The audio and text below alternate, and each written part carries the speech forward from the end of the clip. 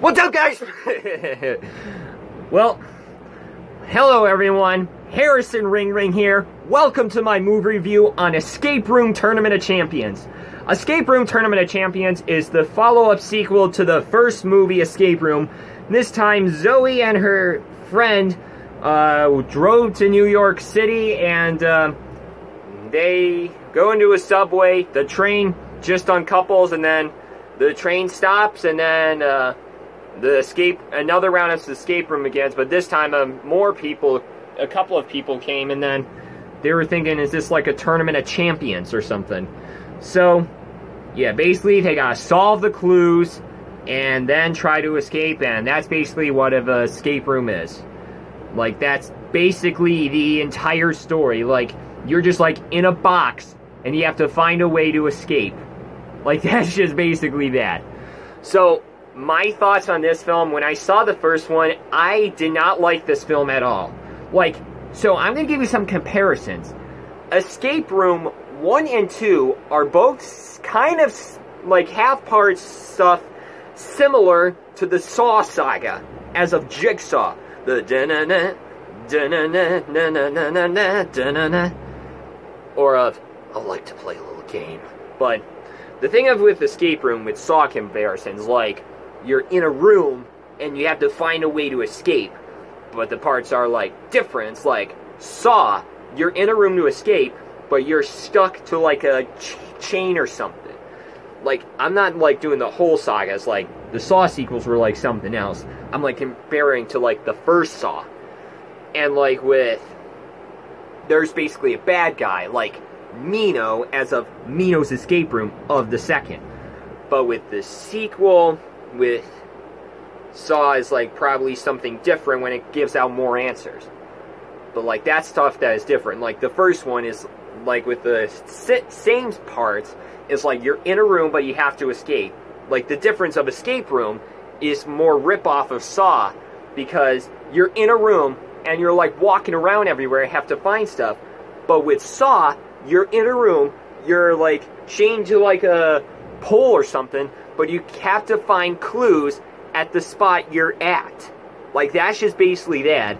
But with escape room, you're like walking around everywhere and trying to find a way to escape. So, with Escape Room 2, um, this is just like, this is just a huge, dumb sequel to watch. Like, this is one of the dumbest sequels I've watched. Like, when I saw the trailer came out, I had like no high expectations for this. Like, this movie, I was like expecting to be bad because this is just a PG 13 version of Saw.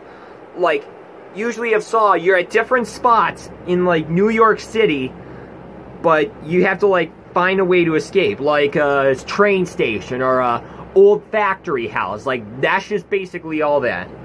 So, more of it. But with, anyways, with Escape Room 2, there is some good stuff I like. They had good, like, sound effects or something. Like electricity. Zzz, more of that. Or, uh, more with, like, loud music effects. Most of that. So, but with Escape Room, it's like, they're, like, taking time to, like, find the ways to escape. And it's like, it's, like, hard for them to get out or something and I was felt like not entertained by it, and nothing seemed to be funnier in, in there. So, Escape Room 2 is like not a very good sequel. This is like a dumb sequel horror movie, or mostly thriller, I don't really care, but the only better sequel that was this year was A Quiet Place Part 2. And, uh, the other stuff with Escape Room is like the editing was bad, the acting was just terrible.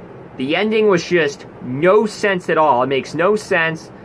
And then, if there's going to be like a third one, it's like, what do we have to expect out of it?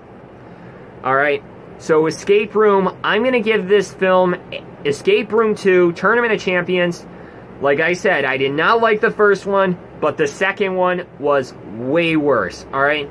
Like, this is like one of the most dumbest horror sequels I've ever watched since I don't know which previous one, so I don't really care. So Escape Room Tournament of Champions is a 3 out of 10 and a D. So, that is all I got. I will see you next time. Leave a like, comment, and subscribe. And with this also on Instagram, follow me on Instagram. That is all I got, everyone, and I'll see you next time. Stay tuned tomorrow for Space Jam. Come on and slam, and welcome to the jam. Tomorrow night, Space Jam, a new legacy. That is all I got, and I'll see you next time. Bye-bye.